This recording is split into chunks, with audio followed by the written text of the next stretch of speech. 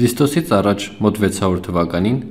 Թալես Միլետացին լայնորեն ճանաչվել էր առաջին հույն փիլիսոփա։ Նա առաջինն էր, ով տվեց ամբողջովին բնական բացատրություն իր դիտած երևույթին։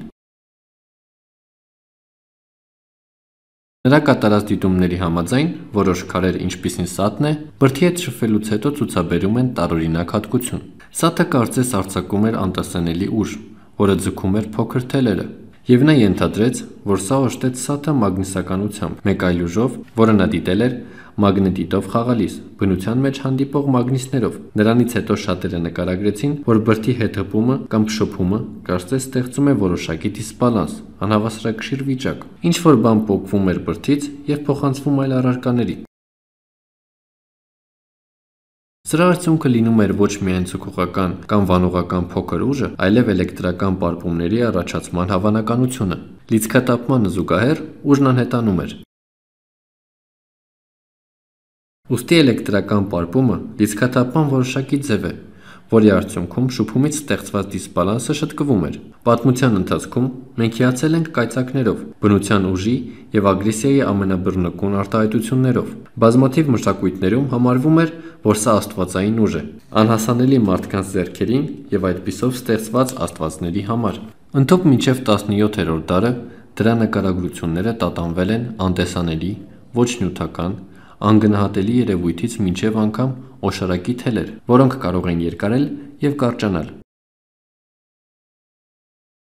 Ի վերջո Բենջամին Ֆրանկլինը 1752 թվականին կարողացավ ապացուցել, որ գոյություն ունի կապ կայծակի եւ շփման հետևանքով առաջացած այն աննշան էլեկտրական պարպումների միջև։ Իր որդու հետ միասին կատարած հայտնի վտանգավոր փորձում նա բաց թողեց օթապարուկը ամպրոպի ժամանակ եւ ստորին հատվածում, որտեղ թելը թաց էր, կապեց երկաթե բանալի, ապա որոշ ժամանակ անց մոտեցրեց իր ձեռքի կոճակը բանալուն եւ զգաց մի քանի փոքր էլեկտրական հարվածներ, նման բրդի հետ շփումից առաջացած հարվածներին։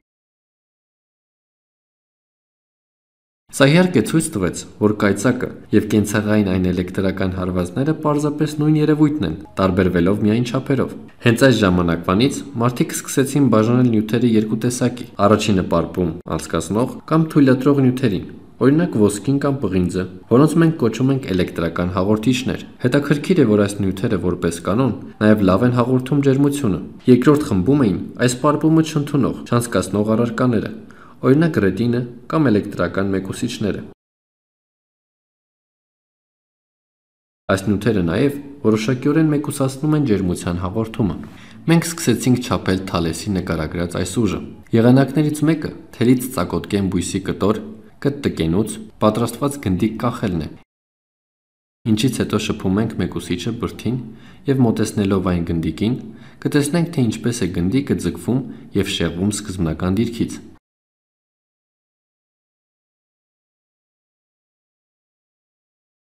Մեծացնելով առարկաների թիվը, նկատեցինք շեղման աճ ավելի մեծ ձգողության ուժի հետևանքով։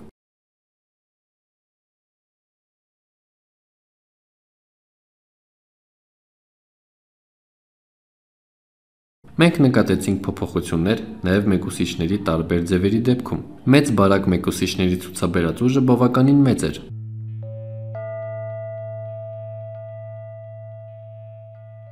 Զարմանալիորեն հայտնաբերվեց, որ այնպիսի հաղորդիչները, ինչպիսին են պղնձելարը, կարող են փոխանցել ձգողականության էֆեկտը հեռավորության վրա։ Սա դիտվել էր գնդիկի եւ լիցքավորված մեկուսչի միջև երկար լար քաշելով։ Երբ առարկան մոտեցվում էր լարին, անմիջապես ձգում էր գնդիկը լարի միջոցով եւ շեղում այն սկզբնական դիրքից։ Հետագայում մատով դիպչելով լարին, լիցքաթափում ենք այն։ Ձգողությունը վերանում է եւ գնդիկը ազատ է արձակվում։ Մարդիկ անմիջապես մտածեցին, որ սա հիմք կծառայի ապագայի տեսողական հերագրերի համար։ 1774 թվականին ֆրանսիացի գյուտարար Ժորժ Լուի Լեսաժը առաջիններից մեկն էր, ով որոշեց փորձարկել այս գաղափարը։ Նա ուղարկեց հաղորդագրություններ 26 լարերից բաղկացած համակարգով, որտեղ յուրաքանչյուր լար ներկայացնում էր այբուբենի մի տառ։ Մի ծայրում իրականացվող պարպումը առաջացնում էր գնդիկի տեղաշարժ մյուս ծայրի մոտ։ Այս հերագրի թերությունը ընդամենը նրա տան երկու սենյակների միջև տարածվածությունն էր։ Շեղման ուժը փոքր էր եւ դժվար էր աշխատել դրանով։ Սակայն այդ ժամանակ մարդիկ փնտրում էին նոր եղանակներ, առաջացնելու լիցքի ավելի մեծ տարբերություն, որպիսի ուսումնասիրվող ուժը աճի։ Մի տարի անց Ալեսանդրո Վոլտան հանրայնացրեց մի բարեկարգում, որը պարպումների ըստ անհրաժեշտության առաջացման հեշտ եղանակ է։ Այն հիմնված էր մի գաղափարի վրա, համաձայն որի լիցքավորված մեկուսիչը կարող է առաջացնել լիցք կամ փոխանցել այն մոտ տեղակայված հաղորդչի թիթեղի վրա։ Ընդամենը անհրաժեշտ է մոտեցնել մետաղյա թիթեղը մեկուսչին, որը կփոխանցի լիցքը մետաղյա թիթեղին, առաջացնելով դրանում դիսբալանս կամ էլեկտրական լարում։ Այնուհետև հնարավոր է մոտեցնել մատը թիթեղին եւ ստանալ պարպում։ Հաջորդիվ թիթեղը հեռացվում է մեկուսչից պատրաստված բռնակի օգնությամբ եւ հավելորդային լիցքը կմնա թիթեղի մեջ թակարդված։ Հետագայում թիթեղը կարող է լիցքաթափվել ըստ ցանկության, պարզապես հպվելով այն հաղորդչին, օրինակ մատին, եւ այս գործընթացը զարմանալիորեն հնարավոր է բազմիցս կրկնել, առանց վերալիցքավորելու մեկուսչի թիթեղը։ Մենք կարող ենք ըստ ցանկության առաջացնել բազմաթիվ փոքր պարպումներ։ Այս ընթացքում Բենջամին Ֆրանկլինը կենտրոնացած էր այս պարպումները թակարդելու կամ պահպանելու եղանակ գտնելու վրա։ Նա շարունակում էր ենթադրել, որ էլեկտրականությունը որևէ անտեսանելի հեղուկ է, քանի որ գիտեր, որ այն փոխանցվում է ջրով։ Այդ պատճառով նա ենթադրեց, որ մեկուրջի ներսում ջուրը կարող է պահպանել էլեկտրականությունը։ Ներկայումս հայտնի Լեյդենյան անոթը այն ժամանակ ապակի անոթ էր, լցված ջրով եւ փակված մետաղական կափարիչով։ Ֆրանկլինը նաեւ այդ դրսից փաթաթեց հաղորդչի մետաղով։ Նա մոտեցնում էր լիցքավորված հաղորդիչը մետաղի կափարիչին, առաջանում էր պարպում, որը թակարդվում էր անոթի մեջ։ Առավել կարևոր է այն, որ անոթը կարող է լիցքավորվել բազմաթիվ անգամ։ Յուրաքանչյուր կայծը մեծացնում է լիցքերի տարբերությունը կամ էլեկտրական լարումը անոթի ներսում։ Նմանապես հնարավոր է պատկերացնել անոթը որպես փուչիկ եւ յուրաքանչյուր պարպումը որպես ջրի կարճ շիթ։ Հարյուրավոր կրկնություններից հետո լարվածությունը ահռելի կդառնա։ Լիցքը ազատելու համար նա պարզապես դիպավ արտաքին հաղորդչով կափարիչին, առաջացավ մեծ պարպում։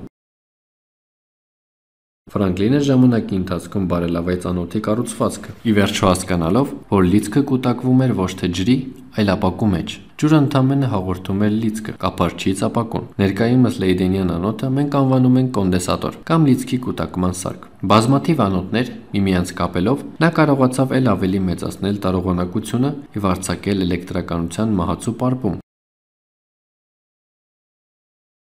Տարիների ընթացքում մարդիկ փորձեցին ստեղծել լիցքի ստացման ավելի արդյունավետ եղանակներ, օգտագործելով շփման մեքենաներ, որը այնուհետև պահվում էր կոնդենսատորներում եւ արձակվում տպավորիչ մարդակերտ կայծակների տեսքով։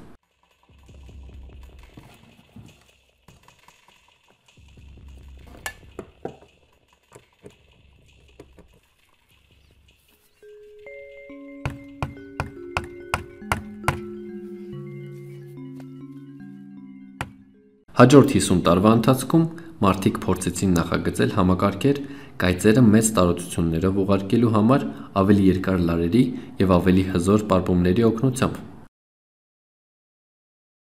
Այնուամենայնիվ, որպես հաղորդակցության մեթոդ, էլեկտրական պարպումներ ուղարկելը անփույթ էր, հնացած եւ չուներ առավելություն այն ժամանակ գոյություն ունեցող տեսողական հեռագրերի նկատմամբ։ Դրանք լայնորեն անտեսվեցին կառավարության եւ արդյունաբերության կողմից, սակայն ալիքը դեռ նոր էր բարձրանում։ Էլեկտրական հեղափոխությունը արդեն սարերի հետևում չէր։